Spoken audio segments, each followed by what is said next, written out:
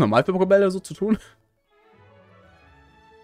Wie findet ihr mein Design eigentlich? Mein wunderschönes äh, Border-Design. Ich finde es sehr hübsch gemacht.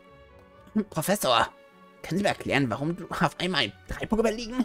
Ich könnte schwören, da war eben noch zwei. Da steckt der kleine Ausweis also. Ich schätze, im dritten Pokémon befindet sich als Pikachu, das Pony eben gefangen hat. Was? Echt? Du hast ganz in einem Pokémon gefangen, Pony? Welches ist es wohl? Wow, das gesehen? Hahaha, dieses Pokémon ist wirklich quicklebendig. Los, Bonelli. Heb den Pokéball auf und halt ihn diesmal ganz fest in der Hand. Nee, danke. Kann ich das andere haben? Das da vielleicht? Das sieht cool aus. Kann ich das da haben? Was? Nein, nicht das da. Nein, nicht das da. Das, das da. Kann ich das haben? Das da will ich. Nein, nicht das da. Nee, nee. Oh. Hä? Sieht nicht so aus, als würdest du dir die Wahl lassen. Frechheit, ey. Ich fühle mich beraubt, meiner Chance zu wählen. Na gut, dann wähle ich halt. Explosion. oh, ja. Süß. Es ist schon irgendwie niedlich. Hab ich auch zu schnuppern hier.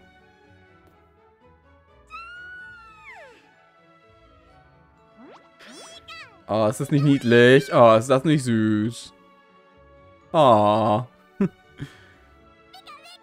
Ich weiß, dass Pikachu äh, dein, deine ganzen Geheimtechniken lernen, sowas wie Surfer und sowas. Also. Hm, höchst ungewöhnlich, dass ein Pokémon einfach nach Lust und Laune aus seinem Pokéball hüpft. Aber dich hat es offenbar ins Herz geschlossen. Wie wär's, wenn du ihm einen Spitznamen gibst? Klar, mache ich gerne. Ja, unbedingt. Wie wär's denn mit... Oh, es gibt so viele Möglichkeiten. Ich kann mich gar nicht entscheiden. Ah, ich glaube aber der... Na, TM-Slar. Ja! Ich habe sie umbenannt. Ich habe B gedrückt. Meine Wurstfinger sind zu groß dafür. Ich wollte es TM-Sklave nennen. Mach später. Passt schon. Es kennt seinen Platz. Es kennt seinen Platz im Team. Die Drohung war genug. Ich nehme das Pokémon hier, Professor Eich. Harry hält Evoli. Was ist das dritte dann? Oh. ich laufe in die Wand. Kann ich es jetzt immer noch umbenennen? Oh, sehr gut. Okay. Versuch 2. Es ist schwer, mit einem Controller zu, zu schreiben. Ist unglaublich. Und vor allem, wenn es der ist, der driftet. Warte, ist das der, der driftet? Oh, hab ich den falschen gewählt? Oh, verdammt. Ich habe den falschen gewählt. Das ist der, der driftet, glaube ich. Oh ja, ist es. Ja, ist es der, der driftet. Ich habe dumm gewählt. Offensichtlich. Na gut. Äh, Machen wir es Hardcore. Der gute alte Hardcore-Run. Mit dem Drift im Controller. Termsklave. Yay! ah, wie schön. Ist das männlich? Okay. Äh, ja. Tschüss. TM-Sklave starrt dein Gesicht an. oh nein. Ja, verstehe ich sofort. Kann ich sofort verstehen. Oh, ein Moment. Eine Sache wäre noch. Jetzt, wo ihr richtige Pokémon-Trainer seid, habe ich eine Aufgabe für euch. Ich möchte, dass ihr etwas auf eure Reise mitnehmt. Und zwar mein Poesiealbum. Guck mal, es ist Didelmaus. Es riecht nach Erdbeeren. Hm. Äh, was ist das, Professor? Das, mein Lieber, ist ein Poesie... Ich meine Pokédex. Ich habe ihn selbst entworfen. Darin werden automatische Daten zu den Pokémon aufgezeichnet, denen ihr auf euren Abenteuern begegnet. Es ist eine Art Hightech-Lexikon, das seine Seiten selbst mit Inhalt füllt. Hier, Pony und nicht Gary. Diese beiden Exemplare schenke ich euch. Du hättest ein Pokédex, was sag ich? Yay. Ja, nur ich. Nur ich. Die gesammelten Daten eines Pokémon erfasst der Pokédex übrigens erst, wenn man es gefangen hat. Es reicht also nicht, es nur gesehen zu haben. Das ist doof. Wisst ihr, ich träume schon seit einer langen Zeit davon, einmal einen vollständigen Pokédex in den Händen zu halten. Aber ich habe keinen Bock rauszugehen, daher macht ihr es jetzt. Informationen zu sämtlichen Pokémon dieser Welt, jederzeit bereit. Aber ich bin inzwischen zu alt, um die unzähligen Pokémon selbst zu fangen. Was hast du dein Leben lang gemacht eigentlich? Du hast du keine. Hast du nicht im Anime gefühlt eine ganze Ranch mit 70 Tauros oder so? Ach, ich glaube, es sind Ash Tauros eigentlich. Trotzdem! Was hast du getan? Solche Abenteuer sind nichts mehr für meine müden Knochen. Deshalb möchte ich, dass ihr zwei meinen Traum verwirklicht und den Pokédex vervollständigt. Und dann werde ich meinen Namen draufsetzen und den Lorbeeren kassieren. Mit dieser Arbeit werden wir Geschichte schreiben. Ja, wir. Mhm. Also macht euch schon auf den Weg. Das Abenteuer wartet auf niemanden. Boah, unser eigener Pokédex. Oh Mann, wir werden auf unserer Reise so viele Pokémon begegnen. Das wird super. Ich kann nicht lange warten. Ich mache mich schon gleich auf die Socken. Sie ist bestimmt irgendwo draußen, oder? Lass dich hetzen. Bis später. Ich will nicht. Nimm den zurück. Lass mich frei. ich habe nicht unterschrieben. Ich bin minderjährig. Ich habe keine Kaufkraft. Überall dieser Welt warten Pokémon drauf. Ja, okay. Dann also nicht. Helft mir. Zwinker, zwinker, zwinker. SOS. Ich brauche Hilfe. Ich brauche einen Erwachsenen. Oh. Ein Erwachsener. Oh, das ist ja ein süßes Pokémon. Das hat dir bestimmt der Professor geschenkt. Ich habe es selbst gekauft. Und gefangen. Mit meinem eigenen Fleisch und Blut. Sch Schweiß und Blut. Moment. Was sagst du da? Das, du hast das Ganze allein gefangen? Ja. Ich bin sprachlos. Und wie heißt das Kleine? Ah, TM-Sklave. Wirklich niedlich. Mein Kind hat so eine blühende Fantasie. Pika Pika, das heißt übersetzt, bitte hilf mir. Hui, es ist ganz schön lebhaft. Ihr beiden werdet euch jetzt in euer Abenteuer stützen, habe ich recht? Ich wusste, dass dieser Tag irgendwann kommen würde. Deshalb habe ich das hier für dich aufbewahrt. Eine Karte von deiner Mama. Oh, Dankeschön. Wenn du einmal wissen willst, wo genau du gerade bist, musst du einfach nur einen Blick auf die Karte und deinen Beutel werfen. Na gut, dann wünsche ich euch beiden eine gute Reise. Passt gut auf euch auf. Danke. Tschüss, Mama. Tschüss, Mama. Ah, es ist, oh Gott. Ich sagen, gerade sagen, es ist weg. Nein, es ist hinter mir. Okay. Bevor ich jetzt loslaufe, erkläre ich die Regeln mal kurz. Also, wie ihr seht, unten, also dort unten, da, haben wir sechs Pokébälle in sechs verschiedenen Farben. Und zwar rot, orange, gelb, grün, blau und lila. Diese Plätze werden von Pokémon belegt, die diese Farbe auch haben. Das heißt, Taubsi hier ist braun. Es ist auch im Pokédex als braun kategorisiert. Mirapla dagegen würde blau oder, blau oder grün sein. Das heißt, wenn ich Mirapla jetzt fange und sage, es ist blau oder grün, dann bleibt es auch dort. Und wenn ich ein weiteres blaues Pokémon fange, wird Mirapla irgendwann ersetzt.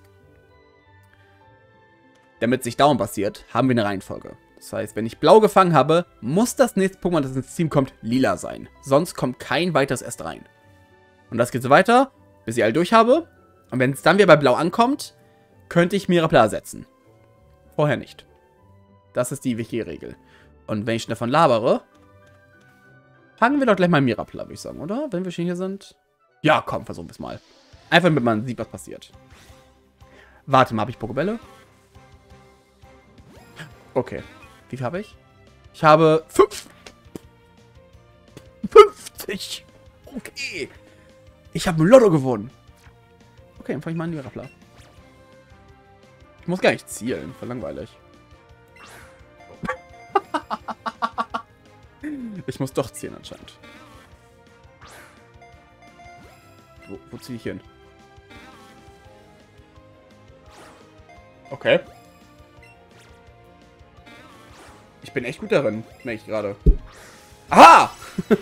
Okay, ich muss wirklich dahin zielen, damit ich was fange, alles klar. Ich bin ein toller Trainer, oder? Muss ich sagen. 10 von 10. So, ich kriege ein paar XP. Termsklave, du bist raus. Du bist durch. Ey, Pokédex. Für. Mirapla, das Unkraut-Pokémon ist Pflanzegift. Es wird oft mit Unkraut verwechselt. Versucht man es aus der Erde zu ziehen, stößt einen fürchterlichen Schrei aus. Oh, wie süß. Ja, weiter. Dankeschön. So, und jetzt, wie gesagt, habe ich ja Mirapla. Hurra. Das Mirapla ist in meinem Team. Gegen Pokéball-Box und mach schon mal dich aus dem Team raus. So. Damit ist mein Team Mirapla. Jetzt kommt die Frage. Mache ich es blau oder rot? Äh, blau oder grün? Ich werde es wahrscheinlich blau lassen, weil... Nee, ich mache es grün. Ich mache es grün, weil ich habe das Gefühl, blaue Pokémon gibt es öfter als grün aktuell. Ja. Obwohl, wenn ich blau mache, kann ich direkt danach ratzfatz fangen. habe ich schon mal zwei. Ich, ich mach blau, ich mach blau. Okay. Also Mirapla wird das blaue Pokémon für mich. Alles klar. Das heißt, es kommt hier hin und wird dann eingetragen. So. Jetzt haben wir ein Mirapla. Das heißt, das nächste, was ich fange und im Team behalten werde, muss... Entwicklungen funktionieren fast ähnlich, wenn das Pokémon sich entwickelt. Also Mirapla entwickelt sich. Dann wird es ja zu Duflor oder Giflor. Ich glaube zuerst zu Duflor. Und wird dann blau oder rot. Ich kann es dann umsortieren in andere Farbe. Oder ich lasse es da stehen, wo es ist. Pokémon, die sich ganz verändern, wie zum Beispiel Ratzfratz, wird dazu radikal, dass dann braun wird. Das fällt dann raus. Das heißt, ich kann Ratzfratz nicht entwickeln, es sei denn, ich möchte den Platz verlieren, wo es ist. Das heißt, ich muss gut überlegen, welche Pokémon ich am Ende behalte, welche ich für länger Zeit behalte und wo ich die platziere in der Zeit. Es wird also ein bisschen gewechselt. Aber es wird bestimmt spaßig. Also ich glaube, das könnte interessant werden. Bericht, was hast du denn so für Sachen? Es ist neugierig. Okay. Details. Es hat eine gute Initiative, was nicht ideal ist, glaube ich. Okay, mal gucken. Erstmal bist du da. So, jetzt muss Lila. Lila ist Ratzfratz. Da ist Ratzfratz. Da haben wir Ratzfratze. Welches Ratzfratz ist das Beste für, vom Aussehen her? Anscheinend das. Alles klar. Dann nehmen wir das hier. Hallo Ratzfratz. So. Level 4. Guck mal, schon besser. Ich muss natürlich nur fangen. Ich bin ja ein Genie im Fang, oder? Ich bin ja so gut. Und ja, das kommt natürlich in Lila rein. Also, das ist ja keine Frage, ne? Das bleibt im Team. Ja. Das ist gar keine Frage, das bleibt im Fall.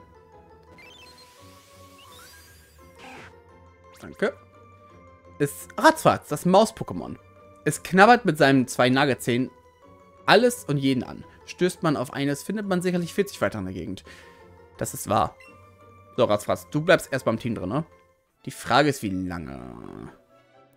Shinies werden immer gefangen. Und auch behalten. Zum Beispiel, wenn ich jetzt noch, noch einen Ratzfratz fange. So, ich, ich fange nochmal einen Ratzfratz. Weil es ja immer im Team landen wird automatisch.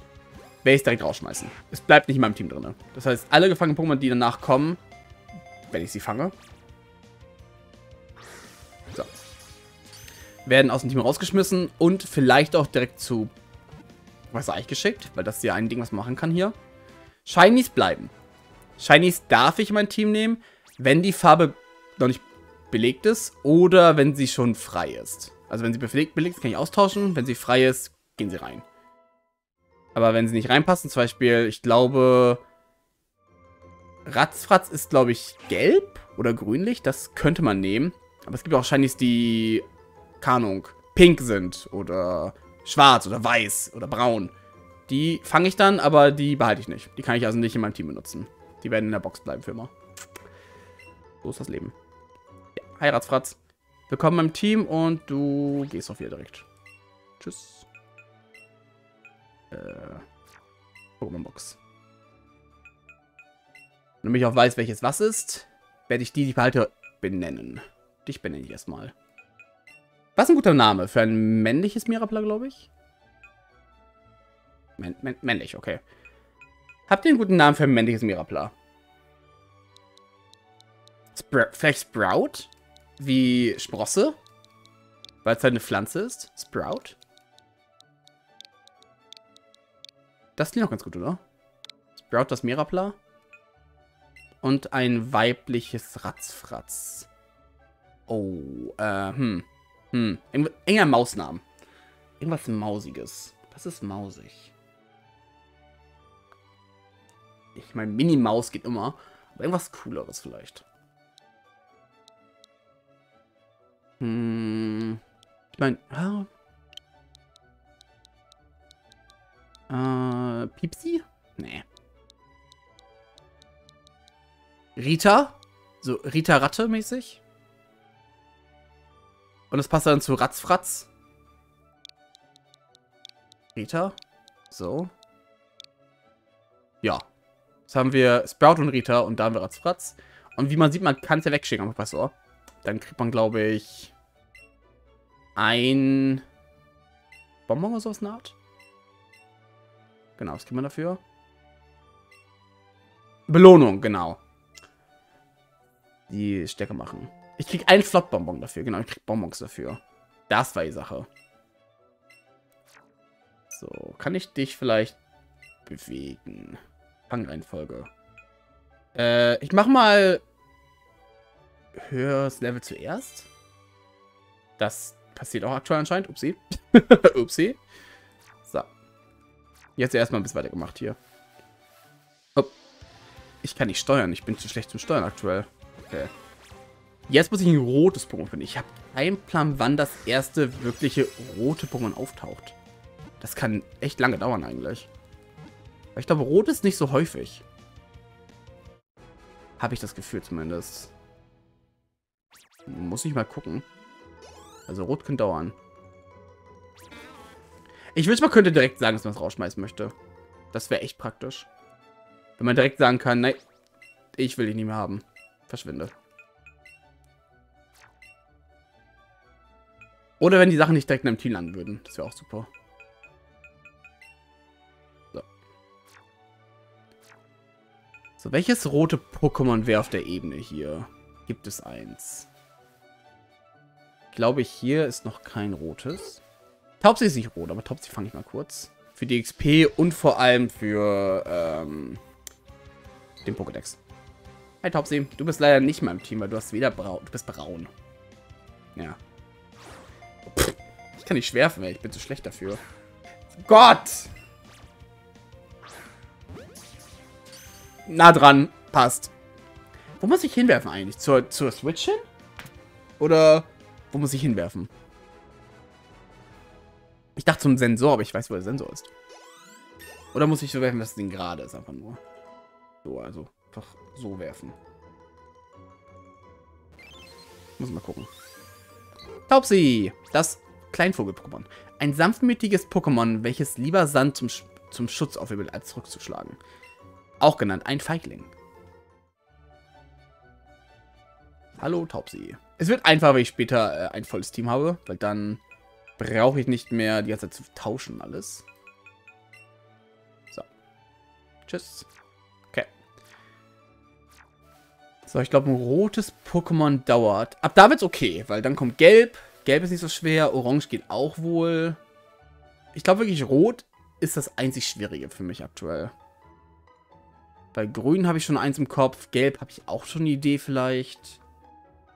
Vielleicht. Aber der Rest wird schwierig. Rot müsste mir überlegen, was rot ist. Ach, verdammt. Ich kann nicht heilen. Die Maschine ist kaputt. Na gut. Was muss ich hier machen? Einfach durchlaufen vielleicht? Hallo, Shop. Oh, hallo. Ach, hallo. Du kommst aus Alamassia, oder? Dann kennst du doch sicher Professor Eich. Es ist eben eine Bestellung für ihn eingetroffen, aber ich habe gerade alle Hilfe zu tun. Würdest du sie für mich zum Professor bringen? Nein. Nein, ich kenne ihn. Nein, nein. Danke, das ist echt nett von dir. Richte Professor Eich doch einen schönen Gruß von mir aus. Tschüss. äh, ja, yes. Ach so. Oh. Oh, es ist einfach.